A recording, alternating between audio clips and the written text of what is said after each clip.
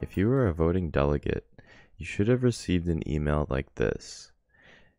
If you are having issues finding this email, look for the email vote at simplyvoting.com. It may also end up in your junk or spam folder. If you still do not find this email, please contact jp at dataonthespot.com.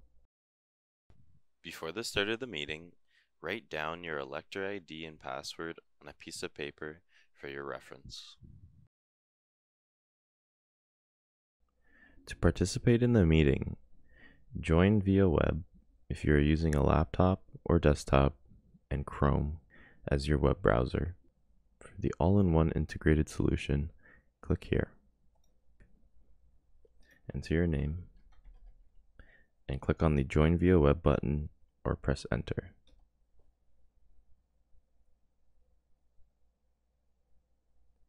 At this point, you will be let into the meeting. During discussion, if you would like to speak to a motion, click on the Participants tab and raise your hand. This will enter you into the speaker's queue. You will be prompted when it is your turn to speak. When it is time to vote, you will need to refer to the credentials email to find your elector ID and password. Click on the Secure Voting button at the top of the page to get to the voting frame. Here you will enter in your elector ID and your password.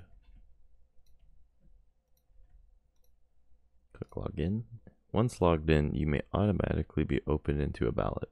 Here, again, you will make your selection, click Continue, change your answer if you need to, continue, and make sure to confirm. Then you will see success. If you wish to review the vote you just submitted, scroll down to the voting receipt section. Here you will see how you voted. Click on Next Vote to return to the home page. Again, as a reminder, before conducting any voting, click on the Next Vote button. This will refresh the page and reveal any current ballot. When you are done voting, return to the live stream by clicking here. Or just simply scroll up. If you have any issues scrolling around the page, make sure to use the scroll bars on the side or the links at the top of the page.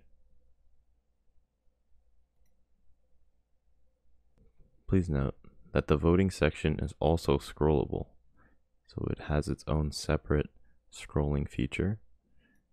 If you are trying to scroll up and down the main page, but are in within this voting frame, you may not be able to as easily.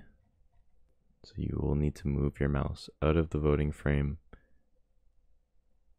or use the scroll bar on the side.